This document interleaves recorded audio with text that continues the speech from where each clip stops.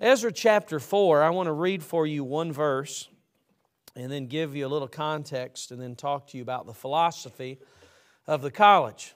Ephesians chapter 4 and verse 12, the Bible says, Be it known unto the king that the Jews which came up from thee, uh, thee to us are coming to Jerusalem, building the rebellious and bad city. They're speaking of Jerusalem, and have set up the walls, therefore, and joined the foundations. Now, it's sort of odd that we take a text in the middle of a group of people here that are really ratting out Israel. Uh, they are upset. They are opposed because Israel is rebuilding the city and they're trying to get them in trouble, just like some of you tried to get your siblings in trouble when you were growing up. And they come and they basically say, Look, they're building this horrible city. But the thing that I want you to pay attention to is at the latter part of the verse, what they're saying is true and have set up the walls thereof and joined the foundations. A foundation had already been laid, and what was Israel doing? They were rebuilding, they were building walls, they were connecting the foundations. And so when you see in building, uh, when you look at building, there's foundation that's laid, and then the walls have to go up. And so my intention this morning is to remind you a little bit about the foundations that were laid many years ago by Brother Comfort. And I want you to know that it's our job of our generation, it is our job to build the walls upon those foundations. Uh, very more frequently than I care to admit, many ministries, churches, colleges, whatever, uh, seem to falter in the second generation. It's sort of like if you do a study of second generation wealth. I remember years ago, Dr. Dave Bond, who's now with the Lord, one day in class, he said, I'll tell you an interesting study. He said, Do a study of second generation wealth, and you'll find that many times that wealth is squandered or those people abuse it in such a way that they cannot perpetuate that wealth to go from generation to generation. And I find that ambassador is in a place and ministries are at a place where sometimes the second generation comes and they squander what was given to them by the first generation. And so this morning, I want you to listen carefully as I talk about building the walls of ambassador. And back in New Old Testament days, walls usually had two or three purposes. And I think those purposes are well served today as we talk about building the walls of Ambassador. Uh, walls are good back in Old Testament times, and even today they are good for defense. Uh, you know, back in, in the day of Joshua, they didn't have uh, Patriot missile systems that would home in. Of course, they didn't have uh, missiles at all. You had to worry about to shoot down to start with. But the main, the main act of defense by a city was walls. Those walls were constructed high, and it was to fortify the city. And it's important for us to build the walls of Ambassador because it will defend us from false doctrine, it will defend us from making mistakes that'll destroy the foundation of the school. Another idea that walls were built for identification. You could look at a city from a distance and you could tell what city it was by the walls that were there. Uh, they would say, look off in the distance and say, there is this city or there is that city. There's Jericho. And you could identify a city by the walls. Well, you can identify a college by the walls that are built uh, on the foundations that have been laid. And so, with the idea of defense and the idea of identification, I want to take a few moments and I want to talk to you about Ambassador, uh, what I believe the school is all about, and that you'll embrace it and that you'll help me to move it on another year on the same foundation. Now, uh, for just a disclaimer here, ambassador is all that I have ever known. Uh, I came to ambassador in 1992. The school was entering its fourth year. Uh, I think the first four year graduating class would have uh, taken place that year. But in 1992, I came as a freshman, and I had never heard of Ron Comfort uh, until I learned about Ambassador Baptist College. Matter of fact, I never met the man until I first came as a student, and I was stunned at how short he is. and uh, I had visited the school in April of that year. I'll never forget Charles King was preaching a message on saying a good word. I've never forgotten it. And in that message that he preached that day, he was talking about how that David was speaking at the funeral of King Saul, who tried to kill him repeatedly. And instead of venting to the world how much he hated Saul and all of the wrongdoing that Saul had done to him, Saul tells the crowd that Jonathan and, Saul were lovely and pleasant. And he talked about how that David had a heart of forgiveness, how that David apparently was willing to overlook that, and that, you know, so many people today are filled with hostility and bitterness. I'd never forgotten that message. And when I left campus that day in April, I knew that that's where God wanted me to come to school, and I came that following August. Now, I realize there are some of you, when you came to college at Ambassador, you came by force your parents told you this is where you're going, and then you came, and then you figured out this is where you needed to be. But for me, it was one of those things. God had called me to preach. I didn't know exactly what area. And uh, so I came to Ambassador in, in fall of 1992. And so I got to see Ambassador in the early, early days. I got to see it with its founding faculty. Uh, I got to see it when it did not have facilities like this. Uh, I'll be honest, I think about you dorm students today, what you have now is a lot different than what I had years ago. As a matter of fact, I will tell you this if we had today what we had back then, a lot of you would have turned around and gone home. You say, What do you mean? When I came in 1992, I walked into a dormitory. You know what my dormitory was? It was a house. It was a residential house that had been gutted Carpet had just been thrown on the floor, and there was nothing else in there no beds, no nothing. And I walked in, and they were like, You're going to be staying in that room. And I thought, Well, that's nice, but I hope I have a bed. And the beds were in a building, uh, the shed that was next door, and it was old Army beds that had been donated to the school. They were made of the heaviest metal known to man and they were at least the rack above me was just filled with rust on the springs. I still remember my first night in the dorm i laid there and every time the guy on top would roll over rust would just sprinkle down into my face. And uh, but you know what? There were 28 of us in that house with two bathrooms and two showers.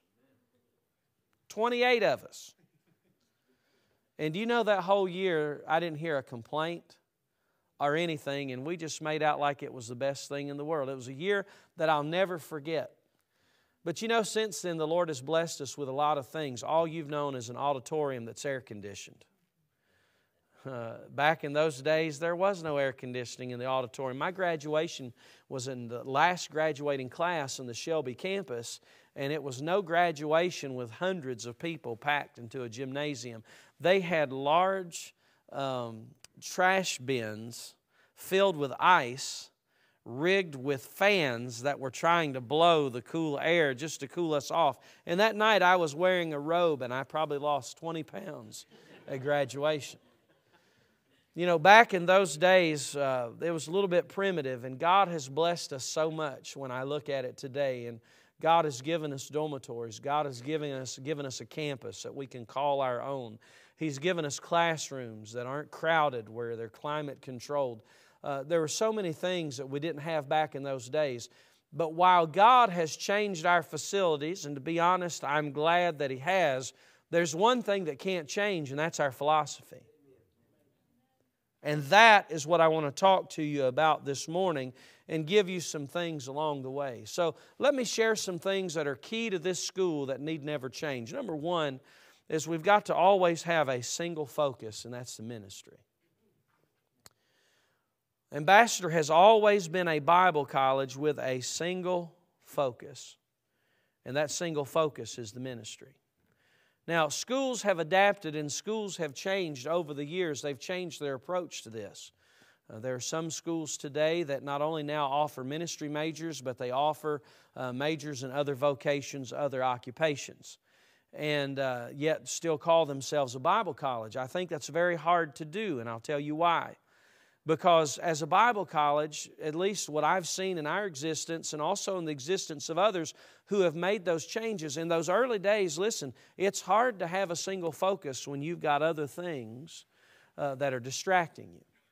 And here at Ambassador, when you're in a four year program, you're going to be in a ministry major. Why? Because this school is about ministry, and that is our single focus. You know, it's interesting in our day and time, there's become a greater emphasis on bivocational ministry. Now, let me make a few disclaimers as I wade out into this minefield, all right? I know it'll be carefully scrutinized. Listen, I do believe that there are probably many churches in America, the only way that a man is going to pastor it is to be bivocational. When you get into smaller places, I'm sure that that is the case. And there are some people that cite Paul as the bivocational ministry model. And they say, well, look, the Apostle Paul was bivocational. And I would also contend with people that when it comes to your preparation, that yes, Paul was bivocational, but Paul was a tent maker before he ever got saved. And that was a trade that God gave him, and lo and behold, he's able to take it and use it later on in ministry.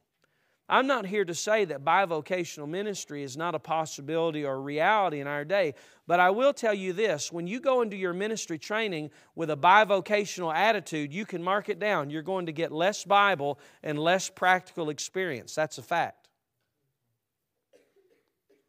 And sometimes people go in with the idea, I'll be bivocational, and before you know it, they're an accountant and they never make it to the pastorate. One of the reasons Brother Comfort started Ambassador is that his heart was grieved to see people go to Christian college with a desire to serve the Lord in ministry and then never make it. Why? Because they were distracted. And so I'm not here to tell you that one day you're going to serve the Lord and that you will never have to work another job. I was just talking to one of our students or graduates. She's a teacher, but guess what? This summer, she's going to be working a job somewhere. I'd say she's bivocational. But there's no doubt in her mind what the main thing is, and that's her teaching ministry. And so here we want to maintain, we're, we're not a liberal arts school. And the day that we ever try to be is the day that we leave our foundation. We're a Bible college. And we have a ministry focus. Let that be your focus. When you're in the dormitories, you dream with other kids about serving the Lord. Maybe, maybe it's on a mission field, or maybe it's as a school teacher or a preacher's wife, but that has to be our focus, and we're not going to change. Not only a school with a single focus, but number two is a strong Bible curriculum. A strong Bible curriculum. Now, there's a difference between a Christian college and a Bible college a Christian college, all Bible colleges are Christian colleges, but not all Christian colleges are Bible colleges. And what I mean by that is there, there are several Christian colleges today that are liberal arts schools. Now, this is not a message against liberal arts. I'm just telling you that if you're going to go into ministry and you have a liberal arts core, it's going to cut your Bible down to about 30 to 32, 36 hours of Bible. And that's just a reality, that's just a fact. But here at the college, instead of having a liberal arts core because you're training for the ministry, we want you to have a Bible core because we believe there's no better book to prepare you for the ministry than the Bible. And it's my goal, it's my promise to you to take you from Genesis to Revelation, book by book in the classroom. Now, in order for that to happen, every teacher has to complete their curriculum and they have to complete their classes. Uh, one of the things that breaks my heart is to hear a student say, Yeah, we got through the class, and the last class, the teacher handed me three books of the Bible that we didn't cover in class. Now, I don't hear that very regularly, but when I hear that, it breaks my heart. And here's why because I feel like I've broken my promise to you, or I feel like they've broken my promise to you. We want you to complete the material in the classroom. That requires discipline and it requires sometimes taking your rabbit trail questions that you ask in class because you don't want to study and throw them to the side and get done with the material anyway. Some of you teachers know, or some of you students know what I'm talking about. There's some of you there, you're like you can count on that person to ask a rabbit trail question. But we want to take you through the Bible. Um, and by the way, for those of you that came from Bible institutes, Listen, Bible institutes are a good thing, but you know there is a difference between Bible institutes and a Bible college setting. You say, what is that? It's this. In a Bible institute, you don't, you're not able to spend as much time going through a book as you would in a classroom. That's not a knock on Bible institutes. I'm just saying they're not equal, they're not one and the same.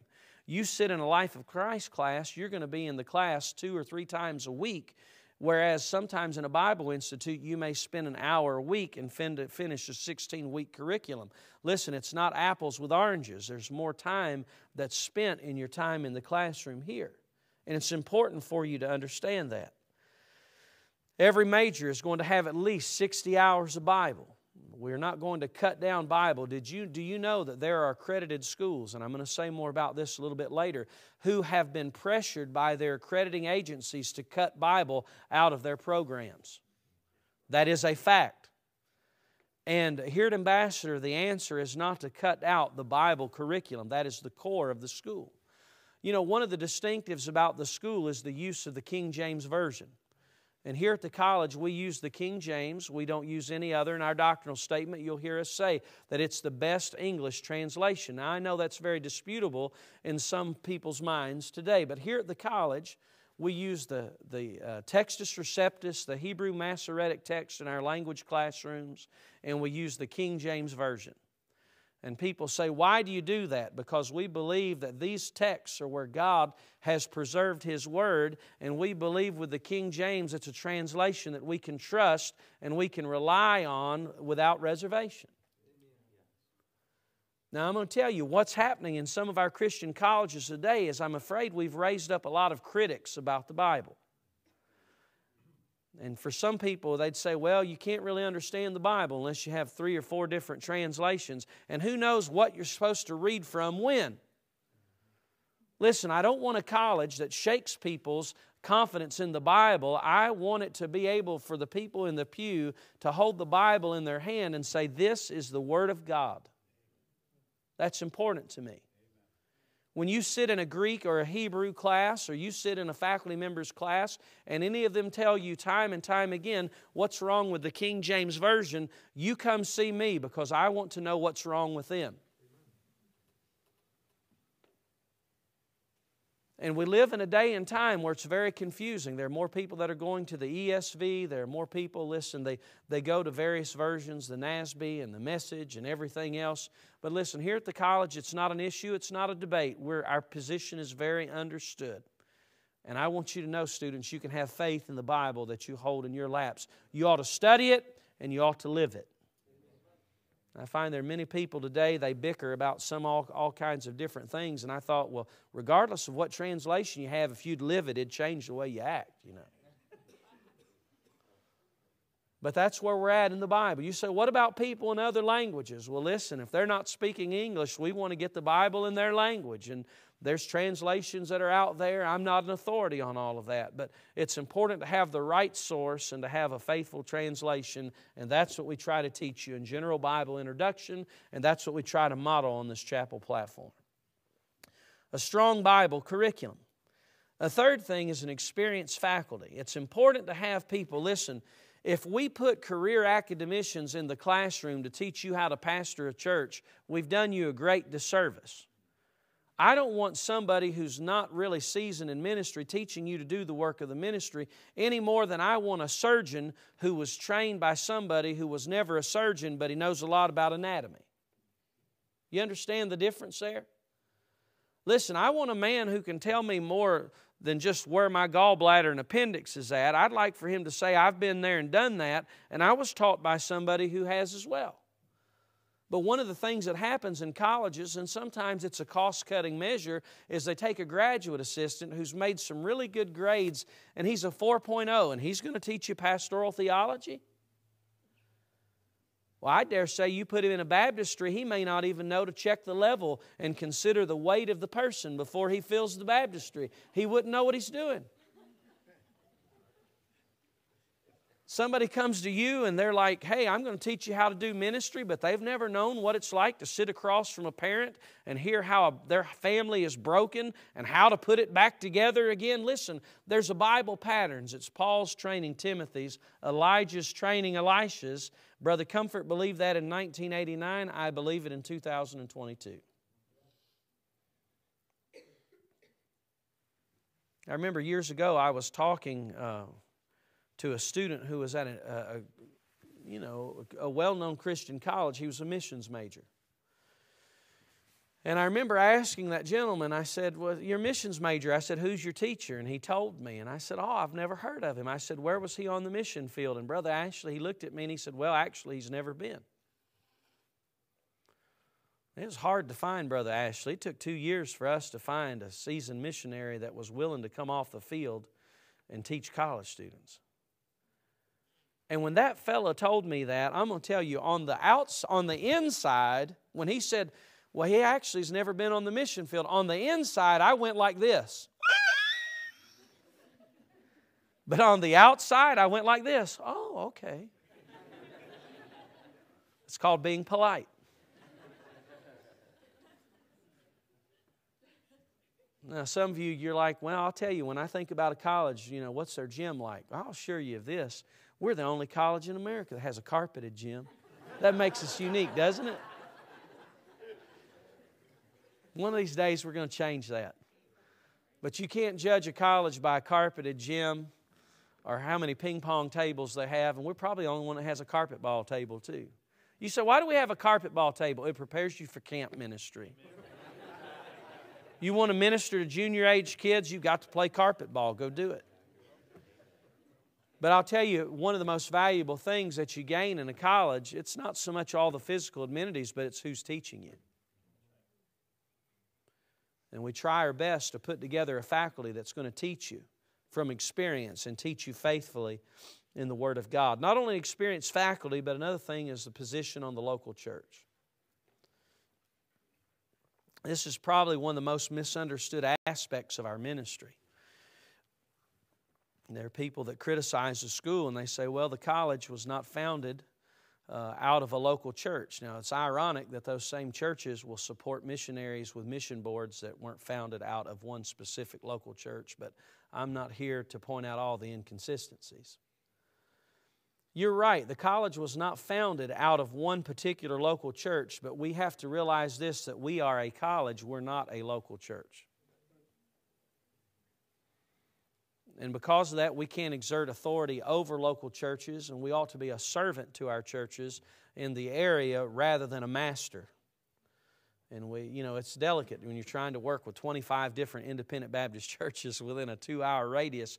But can I tell you, God has given us some great men in this area that are able to invest in you. And when you come here, there's a reason. We give you six weeks to pray and look around. But when you, after that six weeks, we want you to be settled into a church and then you're there every time the doors are open. Sunday morning, Sunday night, Wednesday night. Now, we may not require you to join that church, but we do tell you a couple things. Number one, that's a decision you've got to make in conjunction with your home pastor and your parents. But number two, your opportunities to serve in a church will, may very well be limited if you choose not to join that church because a church has certain liabilities and responsibilities, and that's left up to the churches, but you have to factor all that in. But when you come, we want you to be committed to a local church. And we want you to be there Sunday morning, Sunday night, Wednesday night, revival meeting the week that projects are due. You know, for some of you students, you're like, I, I, can't believe this. We have a revival meeting. Listen, you know what Pastor Davidson does? Pastor Davidson schedules revival meetings at Maranatha in like weeks that I have home. I, I don't, he doesn't check my schedule. But you know, when I'm out one week and I'm out the next, and the week I'm home, that's the week of revival meeting. Well, guess what? That's the week I need to be there. It's commitment. And sometimes commitment stretches you a little bit, but you, are going to be stretched. Commitment to the local church, that's important for you to understand. Being there every time the doors are open, it grieves me. There are people in your generation, and they say, well, You know, I'll tell you what, I'm a little bit bothered. Nowhere in the Bible does it say you have to go to church Sunday morning and Sunday night and Wednesday night. And of course, if you're at Emmanuel, you don't even go to church on Sunday night. But anyway, that's a different story. Now, for those of you watching on live stream, listen, that's not a cheap toss at Brother Ogle. You're just, this is a family talk.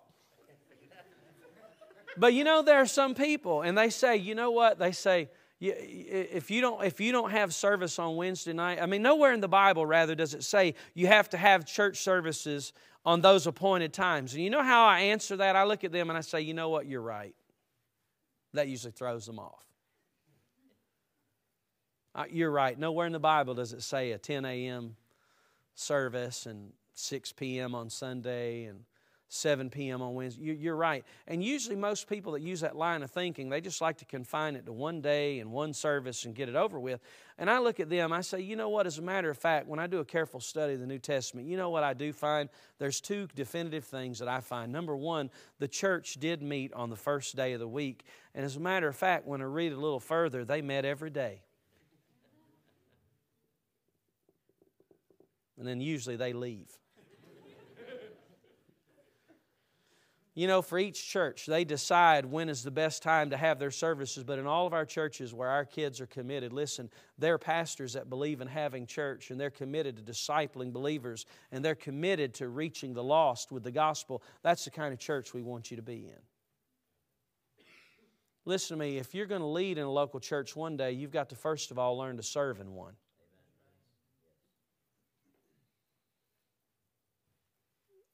And so you understand that in the local church, I love the advantage that you have here. You know, most of you, all of you, should be able to have personal contact with your pastor. There's not, a, not 500 of you in a line waiting to see Brother Ogle or Brother Davidson or whoever your pastor is. You should be able to have personal contact with your pastor. You should have the opportunity to be involved in a variety of ministries. And you can find a church size that's comfortable to what you're used to ministering in you know, undoubtedly, you're able to get settled into a church. I tell people, pick a church like your home church. Now, I know there's no place like home. But still, yet, there's so many advantages to being in this setting, and God has blessed us with a number of good men. And your local churches, there's something that we expect all of you to be involved in, and it's called soul winning. There are a number of you, when you came to college, you were never really exposed to a systematic uh, visitation program or exposed to door to door calling, uh, those types of things. And one of the reasons we teach you personal evangelism class is because one of our goals is for you to get out of here and to give the gospel, and you have that avenue in your church visitation programs. Churches do it differently, they have different visitation programs, they have different methods of attack, but be involved in it, throw yourself in it, be committed to it. The local church, it's very important. Another thing here is a family atmosphere. We want it to be a family atmosphere, but you cannot take by default that because something is smaller, that means it feels like family. As a matter of fact, there's several things that I want to I want to just sort of push here a little bit to tell you that when we lose these things, we lose a family atmosphere.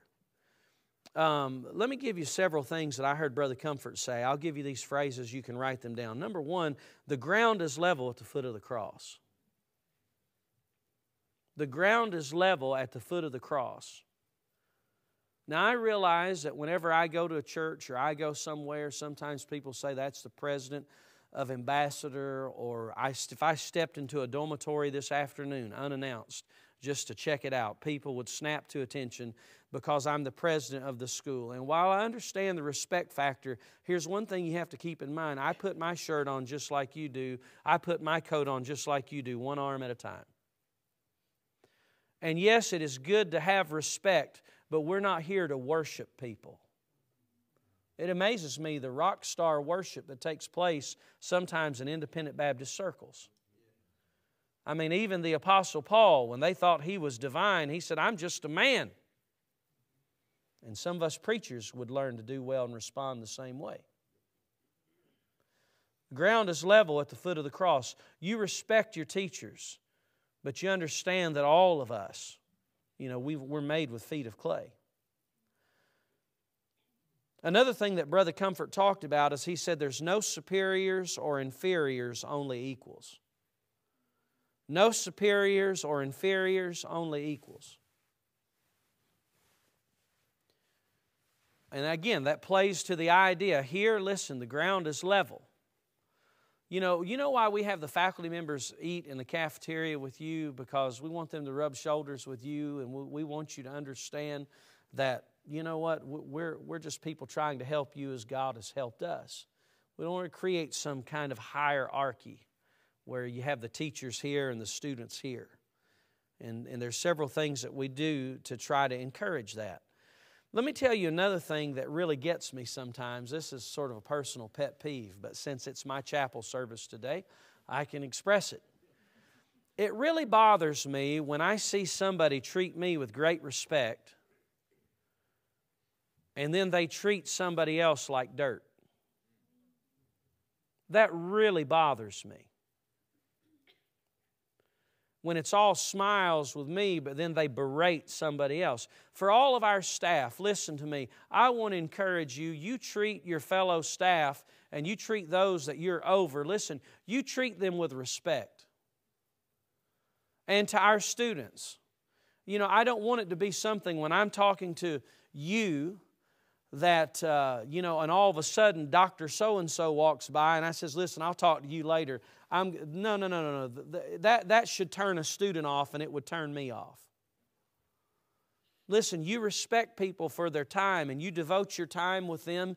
And, but listen, don't, don't get in where you treat authority one way and you treat your classmates another. If I treated students in a lowly manner and I just left them hanging whenever another faculty member came by, that would turn you off, and I can understand why, and it should. But don't, don't kowtow to people. That's what Brother Comfort used to call. He said, Don't kowtow to people and be political. Just be who you are and be respectful and be polite to everyone, no matter their position. Now, here's another thing that Brother Comfort said, and I want to illustrate it for you. He said this He said, The student is more important than the rule. The student is more important than the rule. Now, here's where some of you are like, I like this. The prisoner runs a prison. That's not what I said. I said the student is more important than the rule. You know, sometimes you've got to have common sense. For instance, I was an RA in the dorm. I know what it's like to have to deal with people who come in after hours. I know what it's like to hear the excuses of why the bed wasn't made. And I could tell you some good ones. But let's say I'm the RA, and that the next morning I come in and a guy's bed is a mess. I mean, an absolute mess. He's gone to class, but his room's a wreck. And I go through that night, or I go through that morning, and I'm like, that's it, man. I'm gonna lay, I'm gonna lay him out. I mean, that's just pretty obvious. He's just really messed up. And so then later on that evening, and by the way, RAs, can I tell you something? If you write somebody up, talk to the people that you write up. Touch base with them. Don't hide behind a demerit slip. That's convenient to do. And so that night I go to the individual and I say to him, I say, uh, Sage, we'll just use, we weren't classmates, but we'll just pretend here. It makes me feel young if I'm your classmate. And I'm like, Sage, your room was a wreck today, so that's it, man. I wrote you up. Matter of fact, I wrote you up for two or three things. And Sage looks at me and he says, You know, he said, Okay. He said, I just got news this morning that my grandmother was in a coma, just totally unexpected, right before I went to class, and I just froze up and I didn't know what to do, and I just I, I tried to go to class, but I just let everything go. Can I tell you something? The student's more important than the rule. At that point, I throw it away and I sit down with him and say, Man, how are you doing? We were really close. I mean, I've never, I've never lost a grandparent before. At that point, I don't care about a major housekeeping violation. You have to learn how to do this. It's called compassion. Now, there's some of you that you say, oh, I need a lot of compassion. It's like because you presume on people's mercy. All right? Mercy should not be the rule, mercy should be the exception. I mean, that's why it's so special, right? When you get it. But the student's more important than the rule. You know, there were times when I, I came into a situation in the Dean of Students office where, yeah, you're right, the person, the person just totally fell off the map and didn't do his dorm job for a week. And then I found an underlying problem. Well, at that point, instead of laughing at you and saying, Well, you're getting 50 demerits, man, 10 a day, boy, I'm telling you, but now let's talk about it. You know, sometimes when you find out somebody's having a problem, listen, instead of going by the letter of the law, you need to back up a little bit and realize that maybe because of your lack of awareness, you weren't able to help that person in a timely fashion. Shoulder some of the responsibility yourself. Meet them halfway and show them that you have a heart. The student's more important than the rule. Now, there are situations you get to where certain rules are violated where you don't have a choice. You, you, you make a statement to the entire student body if you choose to tolerate certain things. But I'm just saying, when there's background issues, when there's things that are running in people's lives, listen, it's more than just demerits. I know some of you think the Dean of Students office lives for demerits. Their life would be a lot easier in some regards if we never had to enter them. But I want to tell you, that there's going to be times where we find the root cause and we say, let's back up, let's talk about this. There's other times where discipline has to be administered. One of the hardest jobs in this school is what Roger Lukin does, hands down. Without a doubt, I've been there, I've done that. When you have to tell a parent, I'm sorry, but your kid's got to go home. And you've tried to think of every other way for that not to happen. I'm going to tell you, that bothers him and it bothers me whenever you're dealing with somebody and they're not forthright and your heart is heavy and you're gone somewhere and you're, you're just like, wow, you know, this is, uh, that's all you can think about. Listen, the burden that that man bears, I'm going to tell you, none of you know uh, what he has to deal with. And you know what? I'll tell you this I know our student body's imperfect. I know that our Dean of Students office is imperfect. I know that the administration's imperfect. But I'd like to think that all of us are trying to seek the Lord and do what's best for one another. And I can say that without a doubt. But in the Dean of Students office, Brother Comfort used to tell us when you discipline somebody, how would Jesus discipline that person? Not only that, but if my child was being disciplined, how would I want it done? I wouldn't want you to be publicly humiliated. And then, what form of discipline will promote the greatest opportunity for restoration? It's all about getting you on the right track. What can we do to you to help get your attention to get you on the right track? That's the philosophy that we try, we try to employ. But let me give you one last thing. We talked about a family atmosphere, and there's other things that, but I really want to park for just a moment on the matter of accreditation. Now, I'll have to come back another time and talk about conservative music, but I want to deal about this subject of accreditation. Every student that comes here is well aware that Ambassador is not an accredited institution. And we make no bones about it. We don't try to throw little certifications. We've been certified by the Bird Watchers Association, and we've been certified by the people who think they know the Bible Association to try to give you some air of accreditation standing. But I want you to understand there's a reason this school's not accredited. And by the way, the major Christian colleges that are in existence today all held our position 25 years ago. That's undisputed. Or 30 years ago. Maybe I'll back it up just a little farther.